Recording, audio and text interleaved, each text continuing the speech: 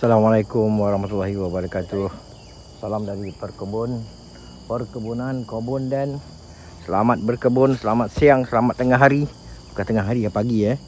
Okey, kita nak mulakan penanaman semula. Ini tapak yang dulu satu ketika dia tanam musangking mati pokok dia. Okey, dah lebih kurang 8 bulan. 8 bulan, 6 bulan terbiar. Sekarang ni kita nak buat pemulihan tanah dulu first pemulihan kita kena gunakan ah okey saya menggunakan malation eh. Mana malation tadi? Ah okey ni dia. Ah ini benda ni. Ni. Okey ni malation. Okey ini untuk serangga.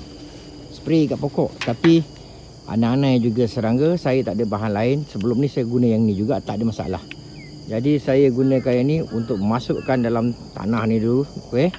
Okey, sekarang kita bancurkan dia. Ha, kalau ikutkan dos dia sikit je tapi saya bubuhkan dos dia yang sekali lipat lah. Ha, penuh. Sampai air tu penuh, kita akan penuhkan dalam tu. Penuh ya, lepas tu kita kambus balik. Okey. Lepas kita kambus, kita buat busuk kecil untuk kita tanam semula. Okey, pokok nak tanam. Tu dia. Ah, ha, ni pokok pokok badik hitam. Ah pokok duri hitam.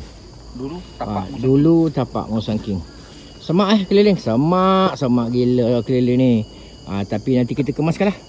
Sekarang ni dah bulan Syawal tak ada masalah. Bulan puasa Kita dah boleh minum.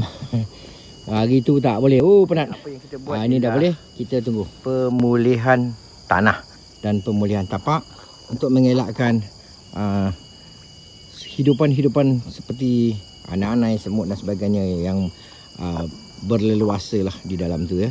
So kita isikan ni untuk kita uh, hapuskan dulu serangga-serangga tu. Uh, lepas tu baru kita kambuskan balik. Okey dah penuh. Ha tu dia air dia. Warna apa? Warna putih. Ha keliling pun kita bubuh. Ha okey kita biar dia mendap. Tak mendap pun tak apa. Sekarang kita nak ni kambuskan dia. Okey, biar dia bercampur dengan tanah-tanah di luar tu eh. Tak apa, dia meresap. Ha, kita kambuskan dia. Ha, biar dia jadi busuk balik tak apa. Ha, okey. Ha, nak mengelakkan mudah-mudahan lepas ni pertumbuhan lebih sihat dan subur lah insya-Allah. Okey, bagi tutup semua dan meresap ke dalam tanah. Sekarang kita nak buat bahagian atas pula. Satu ha, kali ha. lagi kita buat air ni. Kalau ikutkan ni 50 liter. Dia punya dos 20 liter. Ni yang lebih kurang. Boleh digunakan untuk 450 liter. Banyak gila lah. Jadi sekarang ni. tu kalau kita spray lah ke daun-daun kan. Ya, sekarang ni saya bubuh sampai sini. Lebih kurang. Okay.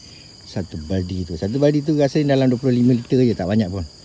Tapi kita nak dia punya keberkesanan dan effectiveness dia.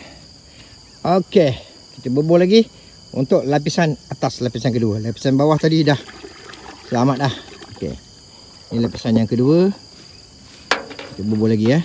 Sebelum kita start tanam, kita kena bagi semua bagi clear dulu kat tanah okay, ni. Okey, sekarang kita uh, membuat busuk kecil eh. Busuk kecil.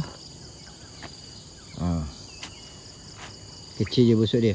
Kita tanam atas ni busuk ni sikit. Sebab kawasan ni dah cukup tinggi dah sebenarnya. Atas bukit.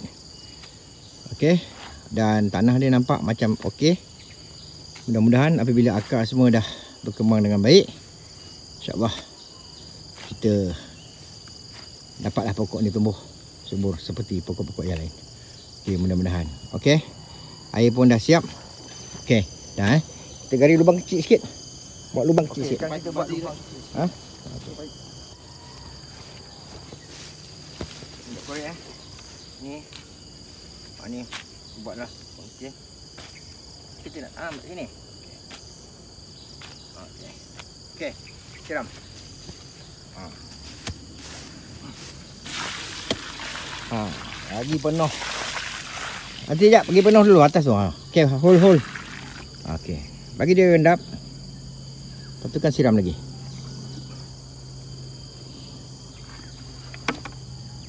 Okey.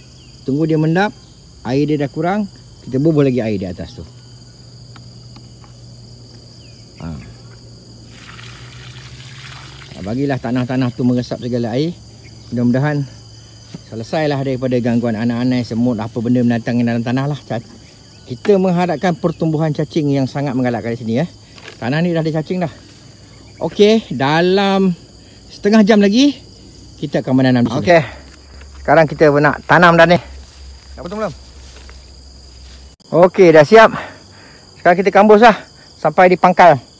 Uh, pangkal pokok tu eh. Kambus dulu secukupnya. Ha. Lagi dia rata-rata. Ha. Kambus. Sambil-sambil membusutkan dia. Okey. So ditanam bahagian atas, mudah-mudahan akar dia lepas ke bawah. Yang kita siram air tadi, uh, air yang warna putih tadi, air campuran air campur dengan malation tadi. Mudah-mudahan dia akan okey lah. Okey, dah beres. Ada apa dah ni? InsyaAllah. Uh, ratakan saja. Lepas tu kita tabur baja keliling dia. Keliling busuk kita tabur baja eh. Ha.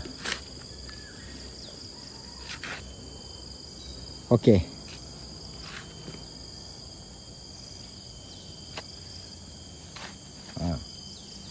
bagi dia ni dulu. Ok dek. Dah cukup dulu. Yang tu nanti besok-besok lusa kita tambah-tambah from time to time lah ok sekarang kita bawa baja. Keliling pokok eh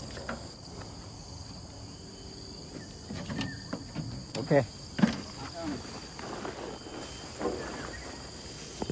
ni baja baja organik ok Mudah-mudahan ni dapat tumbuh subur.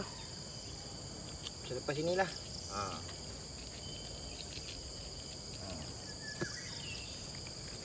Dah cukup. Alright, selesai bahagian penanaman. Yep. Terima kasih. PVC nak tegakkan dia. Terima kasih ha, kerana menonton. Kalau okey jangan lupa subscribe. Tekan like. InsyaAllah lagi baik kalau dapat di-sharekan. Terima kasih tuan-tuan kerana menonton. Uh, juga memberi sokongan support kepada saya. Alhamdulillah inilah kebun Den. Okey, inilah suasananya. Mudah-mudahan akan terus berkembang lebih baik di masa hadapan insya-Allah. Sekian Assalamualaikum warahmatullahi wabarakatuh. Dah sampai masa dah selesai kita ikat dia punya ni dengan stand yang kita dah sediakan. Insya-Allah mudah-mudahan dia dapat tumbuh terus naik ke atas. Okey, nah, jangan ketat sangat. Ha ni dia duri hitam. Nanti kita buatkan dia punya dripping pula supaya dia boleh siram secara konsisten. InsyaAllah mudah-mudahan. Okey. Ha, dapat tumbuh dengan lebih baik. Pokok durian duri hitam.